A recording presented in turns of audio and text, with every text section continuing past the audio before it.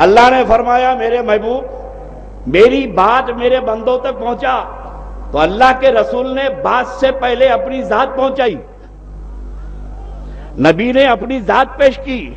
तो जात पर सब मुतफिक थे। अबू जहल ने पुकारा, मोहम्मद, तुम तो सादिक हैं। अबू लहब ने कहा, मोहम्मद, तुम तो आदिल हैं। तो ये मुशरकी ने मक्का, मेरे आका को आदिल बोले, अमीन बोले, सादिक बोले एक एक बढ़ चढ़कर मेरे आका के अवसाफ बयान कर रहे थे। मेरे दोस्तों मुशरकी ने मक्का मेरी जात पर रसूल की जात पर मुतफिक थे। अय मोहम्मद, तुम्हारी जात से हमको इख्तलाफ नहीं। उदू ने फरमाया खोलू ला तुफलिहून। अब पैगाम पेश किया मेरे नबी ने। नबी ने बात पेश की। तो ये मुशरकी ने मक्का नबी की जात को मानते थे, बात को नहीं माने। जब बात को नहीं माने तो ये बने मुशरिक। और साहबा की मुकदस जमात आई, जो नबी की जात से भी मुतफिक थी और नबी की बात से भी मुतफिक थी। फिर तीसरा ग्रुप तैयार हुआ। मुशरकी नबी की जात से मुतफिक बात से इख्तलाफ।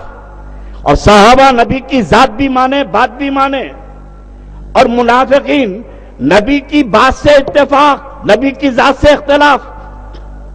नमाज़ पढ़ाओ तो पढ़ेंगे, सलाम पढ़ाओ तो झगड़ा करेंगे। जब रोज़े की बात आएँगी तो रोजा मानेंगे, और जब तवसुल रसूल की बात आएँगी तो इनकार कर देंगे। क्यों? इनको नबी की जात से इख्तलाफ है, नबी की बात से इतफाक है। आज ये ठाटाई हुए मारता हो समंदर, और जो मैंने नतीजा अक्स किया है, अल्लामा प्रोफेसर तारुल कादरी साहब की ज़िंदगी के मिशन का ये पहले नबी की जात की तरफ़ बुलाते हैं, फिर नबी की बात पेश करते हैं।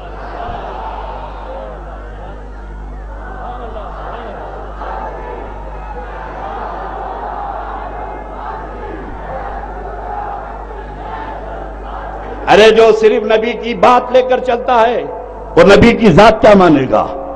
और अहले सुन्नत वल जमात उसे कहते हैं, पहले जात को मानता है, फिर बात को मानता है।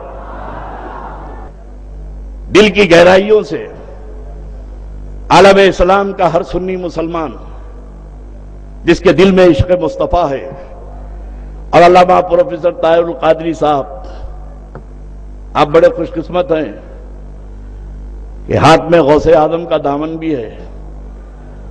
और बड़ी खुशकिस्मती है कि सब दर वालों को पकड़ते हैं, ये घर वालों को पकड़े हैं। इनका पीर कोई दर से ताल्लुक नहीं रखता है, इनका पीर घर वाला है और दर वाले और घर वाले का फ़र्क तो लोग महसूस करते हैं कि ये खुशकिस्मत हैं। और इससे पहले मैंने भी खिलवत के मैदान में कहा था कि गौसे आज़म का सब सदका खाते हैं। मौलाना तायुल कादरी, आपको हिस्सा मिला है। आप सरकार पीर के फैजान को यही लुटाते रहिए। दिल की गहराइयों से खानवाद गौसे आज़म हो या खानवाद गरीब नवाज़ हो, सारे सादात, चाहे हसनी हो या हुसैनी हो, हर एक के हाथ उठे हुए हैं और सब दुआ में मसरूफ हैं कि मौला ताहिरुल कादरी की जान की हिफाजत फरमा। इनकी इज़्ज़त व आबरू की हिफाजत फरमा। मौला इनके हाथ दीन को जेर कर दे और इनके नाम के चर्चे चार दाले आलम में बजा दे। इनका फैदान ऐसी जारी रहे। मैं दिल की गहराइयों से अल्लाह का इस्तकबाल करता हूँ और आप हजरात का भी इस्तकबाल करता हूँ। और दुआ करता हूँ कि लूट कर जाइए। इश्क मुस्तफ़ा की दौलत आखा मौला की मोहब्बतों का शमा रोशन किया जा रहा है। अल्लाह ताला आपको, हमको आज की और आने वाली महफिलों से भी इस्तेफादे का मौका आता फरमाए।